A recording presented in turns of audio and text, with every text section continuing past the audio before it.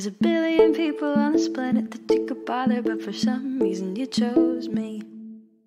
I wish I could give you the attention that you ordered, but I just don't have the energy. And maybe I'm the one that's being over dramatic, but I don't think so. I do know for a fact, though, that you're a definite coward, and I think it might be time for you to go. You're a sour little boy with a fragile masculinity. You saw me as your toy, now that I'm not, you abuse me. You're a sour little boy, absolutely no fun. You saw me as your toy, now that I'm not, you throw a tantrum.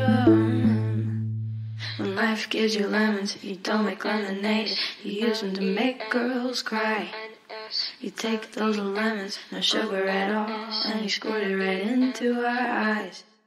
When life gives you lemons, you don't make lemonade. You use them to make girls cry.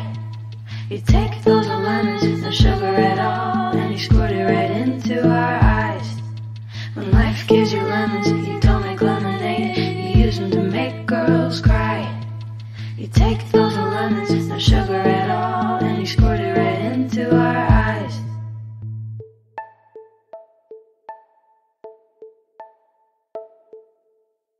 I've tried to remain patient with these stupid shenanigans, but you've given me no other choice.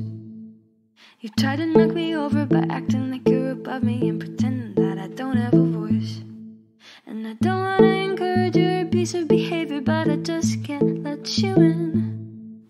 I'm legitimately tired of being walked all over by these insecure babies who think that they're men. You're a sour little boy with a fragile masculinity. Me as your toy, now that I'm not, you abuse me. You're a sour little boy, absolutely no fun.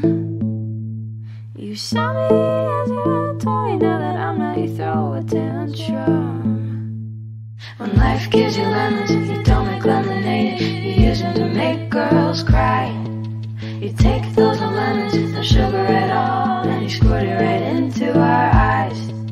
When life gives you lemons, you don't make lemonade. You use them to make girls cry. You take those lemons, no sugar at all, and you squirt it right into our eyes. L E M O N S. L M boy. L M O N S. L M. L M O N S. L E M